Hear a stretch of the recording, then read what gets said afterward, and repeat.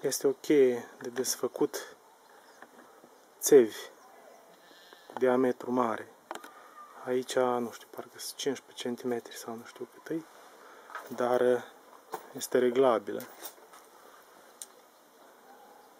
Se poate desface și se pot desface diametre mult mai mari. Aveam de curge cilindrul ăsta și am încercat, uh, am încercat aseară să-l desfac cu un lanț, tot felul de improvizații. Așa ceva riscă să sară în cap. Și aveam nevoie de așa ceva de mult timp. Cine vrea să-și facă, da, durează cam o jumătate de zi. Este nevoie mai întâi de o rangă. Ranga trebuie să fie de calitate destul de bună. Asta mea e ceva sovietic. Altfel, rangă din fier mort o să se strâmbe, mai ales la, la ceva ce se desface greu. Asta s-a desfăcut foarte greu. Aici am sudat două fălci, una e pe parte și una e pe cealaltă, pe care le-am tăiat din asta. Asta e un clește de la cu autoblocare. Da, am din asta destul de multe, ăsta nici nu era era destul de uzat, strâmbat un pic. Mă rog, nu era defect neapărat, dar mă puteam lipsi de el. Deci am sudat două fălci aici. Este posibil să meargă și fără fălcile astea. Se poate face, se pot face niște striații cu flex. Eu am făcut de fapt aici trei la capătul, la capătul rângii. Dar am sudat totuși acolo. M-am gândit că e mai bine așa, să muște din material uh, mușcă el oricum, da, na. Uh, aici nu are nimic. Eu am desfăcut astă primăvară un cilindru românesc și avea două găuri, una pe o parte și una pe cealaltă. Și am, uh, i-am făcut o cheie care și-am desfăcut cu aia. Dar s-a desfăcut și mai ușor decât, decât ăsta, la românesc. Ăsta s-a desfăcut foarte greu. Mă gândeam că strâmb ranga, dar nu s-a strâmbat. Trebuie rangă dintr-un material uh, de calitate. altfel, altfel o să se strâmbe. Uh, aici este, deci sunt sudate fălcile. Aici este o țeavă care culisează, țeava asta culisează pe rangă, ceea ce înseamnă că se poate, se poate folosi cheia la, mă rog, aproape orice diametru de țeavă, tub, ceva, de, țea, de țeava asta care, bucățica asta de țeavă care culisează, e sudat un capăt de șurub cu o gaură în el. Și aici cu un șurub se prinde lanțul. Din coace este sudat un vârf de șurub unde se blochează ăsta. Acum e sub tensiune și nu-l pot scoate, dar se ridică asta și se poate, se poate pune la, la orice la orice diametru se poate folosi până pe la vreo, știu eu cât, 30 de centimetri, nu știu cât, nu-mi dau seama, mai mult de 30 cât am eu aici, dar se poate face pentru, în principiu, pentru, și pentru un metru se poate face diametru, pentru tub de, mă rog, de orice, care trebuie, trebuie desfăcut. Durează, deci mi-a luat, mi-a luat mai mult de jumătate de zi pentru că nu aveam nimic. Până când am găsit ranga, până când m-am hotărât pe care anume o folosesc.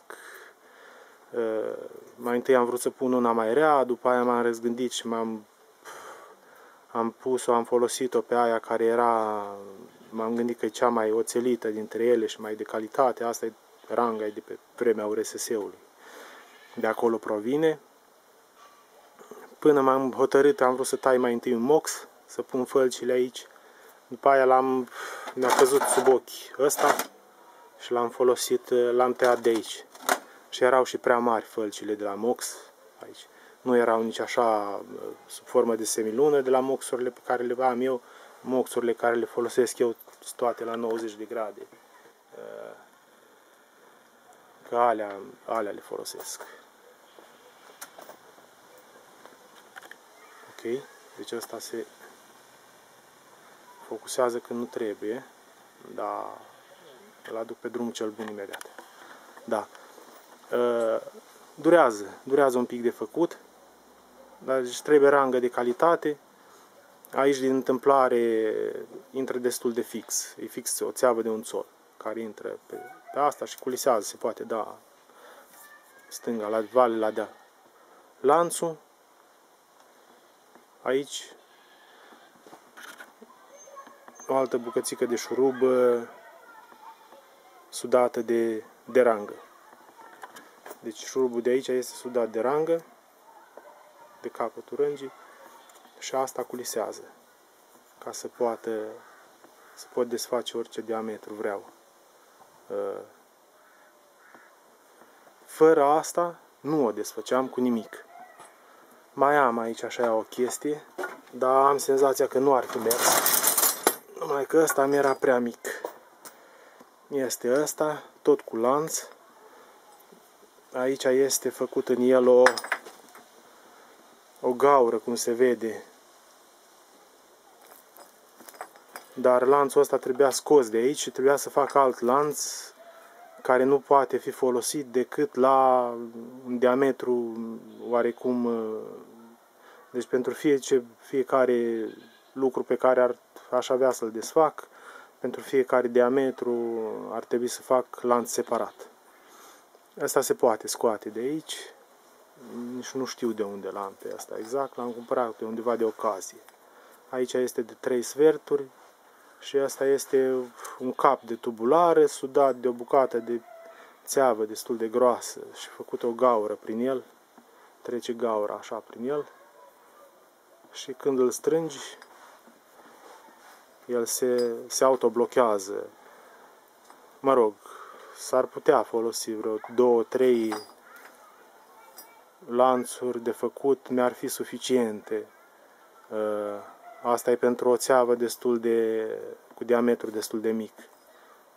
Dar uh, nu am probat și nu știu totuși cum se comportă la ceva forțat foarte tare, cum e aici cu ăsta de trei sferturi, cu diametrul ăsta cred că ar merge, dar ceva ăsta s-ar putea să nu meargă pentru că diametrul este, este deja mare și deci am pus prelungitor la ranga asta, ranga are uh, vreo 2 metri aproape și am pus prelungitor pentru că nu puteam să-l desfac.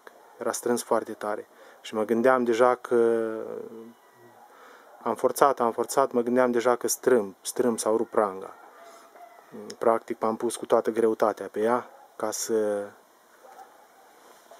și prelungită prelungită încă cu vreo un metru jumate, să zicem că ar avea ea vreo 2, la 3 metri jumate, deci pusă cu toată greutatea mea, vreo 80 de kilograme, ca să, ca să desfacă capacul de aici. și cu așa ceva, în mod sigur, n-ar fi mers. Aici cu trei sferturi pus, nu cred că, nu cred că mergea cu asta.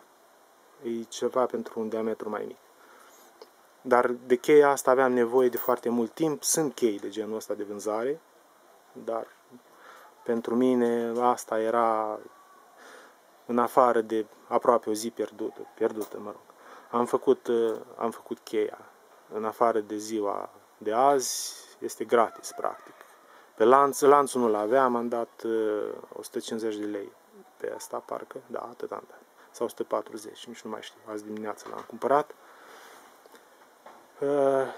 Cât are lanțul? Vreun metru și ceva are lanțul, nu mai știu exact cât avea. Lanțul nu-l aveam, restul am avut totul și am făcut, am făcut cheie pe care o pot folosi, se poate desface cu ea deja de la 3 țoli în sus, orice țeavă se poate desface până la 12-22 de țoli, nu știu de cât, deci mari, diametri mari. Am avut nevoie de multe, multe, multe, multe ori. Am avut de două, trei ori pe an am avut nevoie de așa ceva și m-am descurcat cum am putut. Aici se poate suda, cred că se poate suda o piuliță mare. Piuliță. Da, piuliță, nu asta. Se poate suda aici. Uh, nu cred că se deformează asta de la sudură și a doua oară nu știu de ce fabricantul nu a sudat ceva aici așa în capăt, se poate desface omenește. Mă rog, presupun, ei presupun că toată lumea are tot felul de scule pregătite la, la scara blocului care, cu care să, să lucreze. Da. Eu, de exemplu, n-am avut. Deci cine are nevoie să-și facă, e destul de simplu de făcut. Ăsta de aici culisează, nu se poate suda într-un loc fix, că dacă se sudează într-un loc fix, ajungi să nu mai poți desface decât uh, aproximativ același diametru. Dar ăsta, dacă culisează de aici așa, se poate regla cheia la infinit. Aici trebuie sudat ceva, un capăt de, nu fier beton, șurub cât de cât mai, material mai de calitate și se poate desface, în general pentru cilindri o să-mi trebuiască așa ceva. S-a apucat ăsta să plângă și lucram ceva și nu mai puteam bascula de dacă curgea jumate de litru de ulei la fiecare basculare și se potrăvește și pământul și pierzi uleiul ăla pe acolo, trebuie să completezi, să arată și rău și tot ce vrei. Oricum trebuia schimbat, știam de asta iarnă că trebuie schimbat, dar n-am n-am ajuns la el. Și de cumpărat, na, deci pe mine asta pot să zic că nu mă costă nimic. Na, 150 de lei cât am dat azi pe lanț. Plus munca. În rest, ranga e amortizată de mult timp ranga aia. S-a amortizat deja în câteva mâini, nu numai la mine. Am mai trecut aia prin mai multe mâini până, până a ajuns la mine.